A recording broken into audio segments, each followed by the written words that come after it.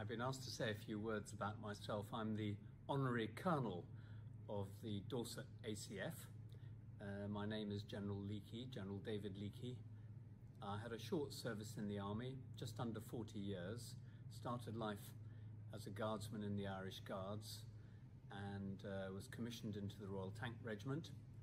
Um, finished up as a Lieutenant General after nearly 40 years and then the last seven years I've spent as Black Rod in the Houses of Parliament.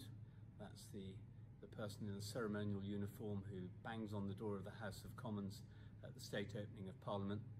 Um, and now I have the privilege of being the Colonel, the Honorary Colonel of the Dorset ACF. Uh, why do you have an Honorary Colonel? Um, because he's someone who, who doesn't have any direct involvement with the staff or the running of the ACF, but I come and visit and I take a look at the whole structure, the training, uh, the cadets to see what's going on, and I can be used for advice and encouragement. And I've just been and had a fantastic day uh, seeing your annual camp at Lydd, and I would say three things about it.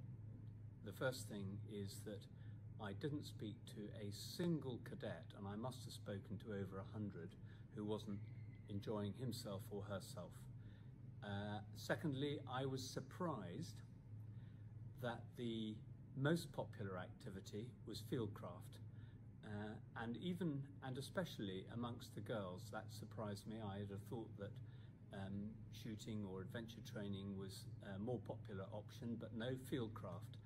And thirdly, um, what struck me about the whole camp was the quality of the staff, the instructors, um, the adult instructors, the cadet uh, leaders, and uh, the Exeter OTC and all the other volunteers who've come to help run the camp.